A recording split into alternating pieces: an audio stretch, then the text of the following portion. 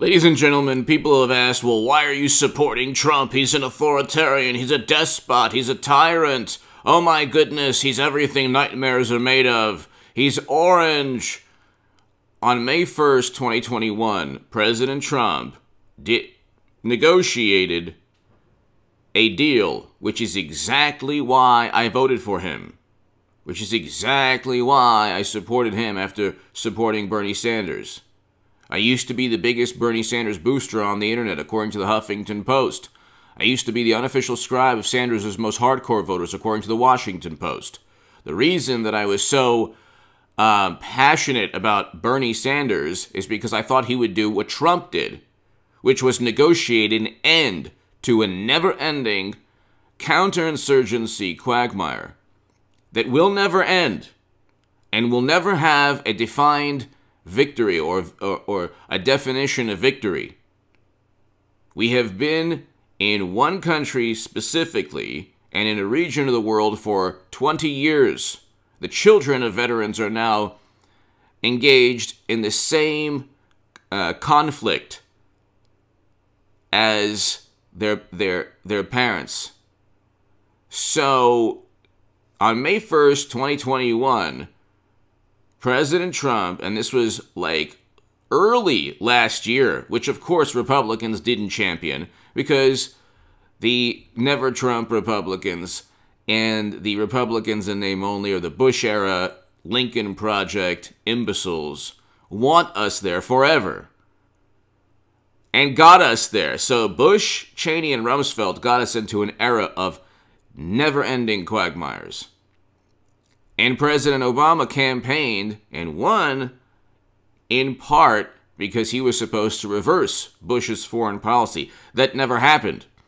I voted for President Trump because he did reverse not only Bush's foreign policy, but President Obama's foreign policy. Foreign policy, by the way, has been relegated to uh, Facebook ads. Facebook ads and Twitter bots and uh, interference in elections. This was never seen as national security. We interfere in other people's elections. A whole bunch of countries have, like, it was always common knowledge that you'd have certain countries that wanted Democrats, certain countries that wanted Republicans. Who cares? That didn't, that never affected. Like, there was never any evidence a Facebook ad even influenced one person. And so they indicted 18 Russian intelligence officials based on the work of Company One, which was a third party tech firm paid for pay, uh, paid by Democrats. And then they said, well, we're highly to moderately confident Russia infiltrated the DNC. They were never certain about anything.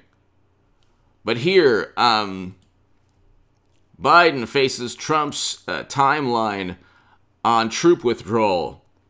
Any way you cut it, we are going to. We are headed for a messy outcome, okay.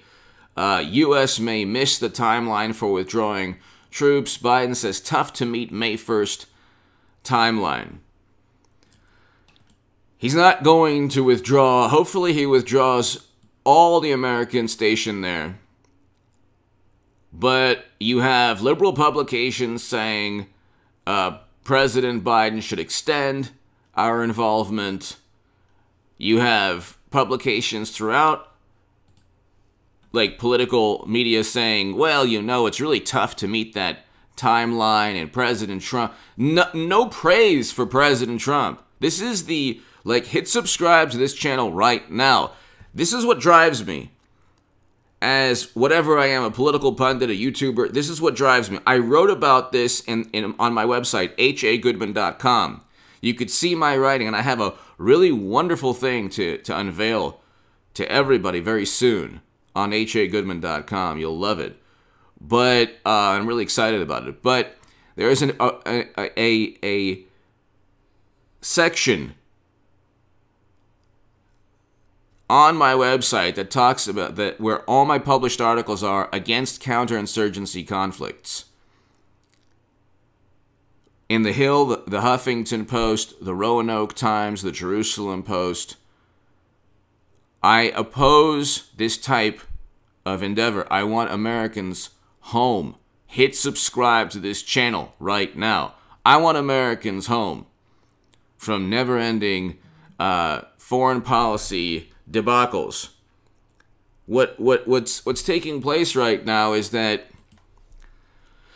this society, this political, the society is not, I'm talking about polit- politically, everything is now smoke and mirrors. They, you would think that they were happy. They got what they wanted. No, no, no. Trump's words live on. They never take responsibility. They never say this is Biden's America. They never have a hierarchy of actual goals or objectives. And by the way, I mean, look, like I'm not I'm not conservative on everything. I'm conservative on a lot of things. I think this is a liberal viewpoint actually, uh, bringing home Americans. But I'm happy that Dreamers are going to become citizens. I'm happy that that is fantastic. For me, I have friends who are Dreamers, so I want them to become citizens. I'm hoping they will. Um, but I think the biggest dilemma we face as a country is keeping Americans in harm's way forever and putting our troops in a in a, in a powder keg in numerous countries. So President Trump brought us out of like he withdrew Americans from uh, one country, Syria, and then set a timeline to withdraw Americans from another country, Afghanistan. And that should have been a campaign, like, that should have been front and center. It wasn't. His personality, unfortunately, was what Democrats and media and, and intelligence operatives and the, the entire machine was against him. And he played into it. And we had the crisis for the past year a self induced economic crisis. The top 13, 13 out of the highest 14 unemployment rates in the country are in Democratic run states. How is that Trump's fault? They gleefully ended their economies because science. And then they had the absolute worst outcomes according to the New York Times statistics. Go to the New York Times. One out of every two life lo- lives lost were in either New York or California.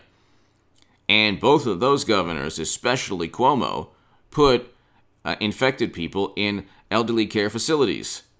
New York also has the highest, one of the highest per capita rates. It fluctuates between New York and New Jersey. And God bless the people of New York and New Jersey. Phil Murphy might be even worse than Andrew Cuomo. Might. I mean, they, they're probably 1 and 1A in terms of the worst governors. Newsom is even better than them, and he's getting recalled. So, why are we not out of a country we've been in for 20 years? Like, the rebuttal is, well, if we leave, then horrible things will take place. That is not. That is that actually bolsters the argument to leave. You can't. That that that that highlights the fact that we have to be there forever. But the United States military is not a chess piece. You cannot just put a chess piece to just prevent two other pieces from um, interacting. So you you, don't use you're it's, it's like you're not using human beings. You shouldn't be able to. You shouldn't use human beings as well. Here we are. We have a small number of Americans, and that's a deterrent. That's not going to be a deterrent forever. And the second, it's not a deterrent, or I mean, who knows if if if it is right now. And God bless the men and, and women we've sent through all the all these theaters of conflict who have tried to implement, who've done everything possible to implement the foreign policy uh, of civilian leaders who oftentimes lack wisdom. So you have people who are like, oh, I opposed Bush. Well, you voted for Clinton and Biden. So how much of a hypocrite are you? I mean, you like you have so many. There's so many.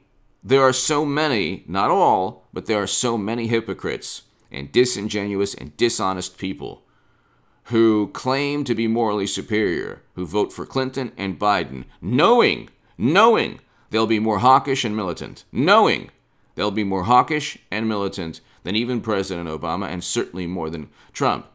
And we have Trump who first president to step foot in North Korea, begin detente between North and South Korea, roadmap towards peace.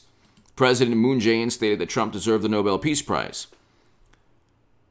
And he doesn't get credit for that. Removed Americans from regions of the world, set a timeline to, to get us out of a specific country we've been in for 20 years, never gets any credit. This is exactly what I wanted Bernie Sanders to do. Now you have Bernie Sanders voters who, like, see, when I voted for Trump, I got something out of it. I got numerous.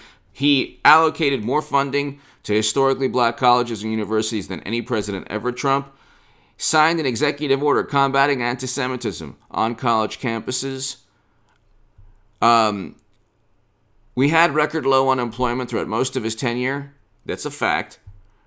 Ripped up the Trans Pacific Partnership and, and, and began the USMCA. I'm sorry, NAFTA. Ripped up NAFTA and the USMCA. Uh, ripped up the Trans Pacific Partnership and engaged in tariffs, which is better than the TPP. Um, I mean, he did things like his personality. Unfortunately, what took place was his personality became an obsession of people. It actually it actually warped it, it turned people's psyches and minds and hearts into these cold places. And I'm talking about wonderful morally superior liberals where they called up friends and family and said, "Oh my god, you're you are now supporting the 1930s and 1940s Germans. I don't want to talk to you anymore." It's like they've convinced themselves of something that doesn't exist. they Democrats in general need to be morally superior. It they like get a thrill from it. It's who they are. They can't just they can't and and if you actually give them facts and a and a reasonable argument and call them out on their hyperbole, it enrages them. so there's no point in in getting into a debate. Actually, also delete your Twitter account. Definitely delete your Twitter account. I deleted mine like three years ago. But ladies and gentlemen, hit subscribe to this channel. I'll have a live stream later this evening. Um, you know, all I can tell you is that President Trump is President Trump got us out of never-ending conflict, and now you have, or it was trying to. Now you have, and now you said there was one article that said, well, he'll he'll keep us there till November. Biden is advised by the Lincoln Project type foreign policy advocates. The hawkish, militant, and it's funny too, the Lincoln Project keeps yapping its mouth. They're completely disgraced. Even the New York Times has turned on them. Even CNN has turned on them. But they still get retweeted on Twitter, which is the worst platform known to man. The absolute worst platform known to man. And it's a platform geared towards funneling negativity uh, towards one political side, which is why, and they, I mean, fifty million dollars Lincoln Project that went to they, they made they got ninety million dollars in four years from liberal Democrats, and then they allegedly, reportedly, took the money into the companies that they ran, which is not legal. So they're up the creek without a paddle. I mean, it's like the big picture why 74 million Americans voted for Trump is completely lost. It's they, they, there's a focus only on on Trump's personality and it's unfortunate too like when you tell somebody I voted to bring home Americans they're like so what? This is the people like like liberal Democrats oftentimes they'll they'll say because I've heard it myself. So what? Okay, they're there. They have to be there forever. But Trump's personality, and he's an authoritarian and a despot. It's like, did you not hear? Just did you not just hear yourself? Authoritarians and despots don't sign prison reform legislation and bring and remove um, remove troops. Like they do the opposite of that, which is what Biden did. Biden wrote the crime bill, and Biden wants to keep us there forever, and Biden got us there. We're there because of Biden's vote. You look at it like they're talking about all these theories on uh, on Twitter now. Everything is like about a certain type of theory on society. Biden is the epitome of everything negative that they. This is why nobody takes nobody takes um, I should say, like, this is how easy it is to refute certain theories on the world. Biden is the epitome of what the enlightened, the high priests of morality and condemnation, what they think that is negative in our world today. Well, you, you voted for Biden, who wrote the crime bill and voted alongside Bush, Cheney, and Rumsfeld. So what do you want? Give me your thoughts below. Hit subscribe right now. Biden's keeping their long, uh, us there longer. Trump negotiated a deal to get us out. That's why I voted for Trump. Give me your thoughts. That's a much. That's the biggest dilemma we face as a country. Never-ending military question.